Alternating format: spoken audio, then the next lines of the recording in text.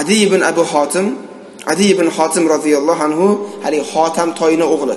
Xotam toy deb otasi nom chiqargan edi saxovatli kishi bo'lgan edi lekin musulmon bo'lmagan edi. Mana shuni o'g'li ulug' sahobiy adi ibn xotim roziyallohu anhu shunday marhamat qiladilar.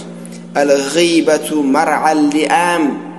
G'iybat bu pastkash kimsalarning taomidir deydi.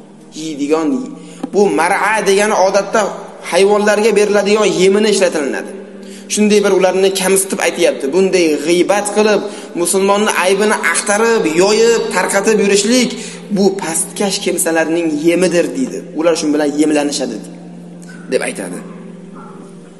Va yana abu osim rahimaulloh aytadilar لا يذكر في الناس ما يكرهونه إلا سفلة لا دين لهم odamlar borasida ularni kamchiliklarini qidirib ularni yomon ko'radigan sifatlarini ular mana shu sifatlari bilan mana shu kamchiliklari bilan zikr qilinishlarini yomon ko'rishlarini bilib turib ularni ana shunday kamchiliklarini gapiradigan inson u diyonatsiz bo'lgan pastkash kimsadir deb aytadi past safilatun eng past tuban pastkash kimsa bo'ladi bu. Hech qanday diyonati yo'q odam ekan bu deb aytadi.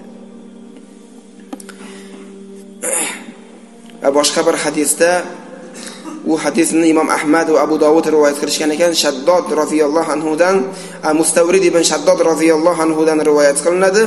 Nabiy sollallohu alayhi vasallam aytdilar man akala bi rajulin muslimin aklatan fa innalloha yut'imuhu mislaha fi jahannam.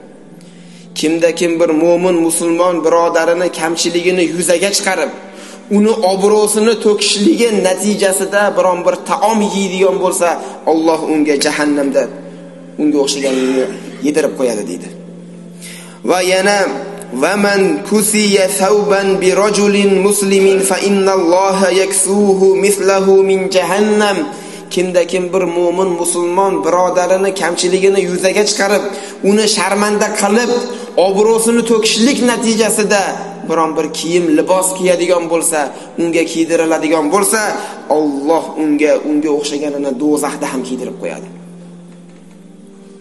ومن قام برجل مقام سمعة ورياء فإن الله يقوم به مقام سمعة ورياء يوم القيامة kimda kim bir mo'min musulmon kishini obro'sini to'ktirib bir obro' qozonadigan bo'lsa bir martabaga erishadigan bo'lsa va odamlarning ichida obro' e'tibor qozonadigan bo'ladigan bo'lsa Alloh uni ham mana shunday bir xor maqomni qiyomat kunida do'zaxda uni xor maqomda tik turgizadi deydi.